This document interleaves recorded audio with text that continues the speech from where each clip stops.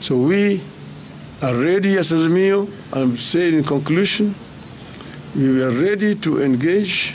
We will engage without any kind of uh, coercion in, in whatever way. And we, we, this process could start as early as tomorrow. I thank you.